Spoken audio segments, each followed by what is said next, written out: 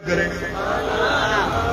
एक हदीस है, मेरे आका ने फरमाया कि कोई बंदा अपनी पूरी ज़िंदगी हजर असवद और मकाम इब्राहिम के दरमियान इबादत करता रहे।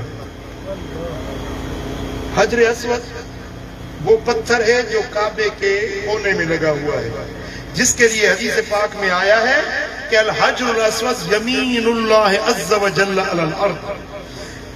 इस धरती पे अल्लाह का दायना हाथ हजर असवद है। हजर असवद कोई मामूली बात नहीं। हजर असवद और मकाम इब्राहिम जहाँ इब्राहिम के कदम है। इनके दरमियान जो ज़मीन का टुकड़ा है ना, ये सारी दुनिया की जमीनों से ये ज़मीन सबसे ज़्यादा मुआज मोहतरम, इज़्ज़त वाली और मकाम दर्जे वाली ये ज़मीन है। बड़ी पाकिजा ज़मीन है। जहाँ पर एक सजदा करे तो लाख सजदों का सवाब मिलता है। एक नफल पड़े लाख नफलों का सवाब मिलता है। एक रुपया खैरात करे, लाख रुपयों के खैरात का अजर मिलता है। एक रोजा रखे। लाख रोजों का अजर मिलता है। ये ऐसी जगह है।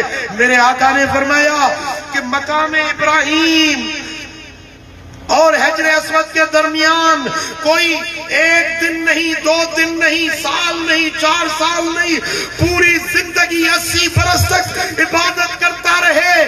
लेकिन लेकिन लेकिन अगर उसके दिल में मेरे अहले बैत की मोहब्बत नहीं तो खुशबू भी नहीं पा सकेगा। चाहे बैतुल्ला के सहन में काबतुल्ला हराम के सहन में जाके पूरी ज़िंदगी इबादत करता रहे, नफले पढ़ता रहे, सर फसाता रहे, लेकिन अहले पैर से मोहब्बत नहीं। जन्नत में जाना तो दरकिनार, जन्नत की खुशबू भी नहीं पा सकता।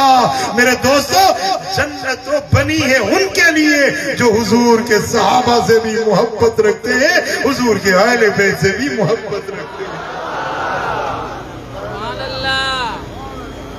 अजीजा ने गिरानी आज अपने ईमानों की हिफाजत करो। अपने ईमानों की हिफाजत करो। बद मज़हब फिरके तुम्हारे ईमान के डाकू लुटेरे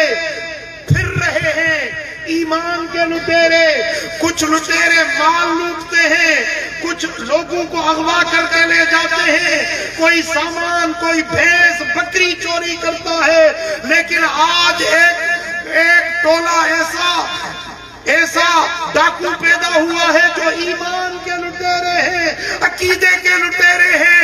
भाइयों, अपने ईमान की हिफाजत करो। हमारा ईमान है कि हुजूर के सहाबा मोहब्बत रखनी है हजूर के अहले बैत से भी।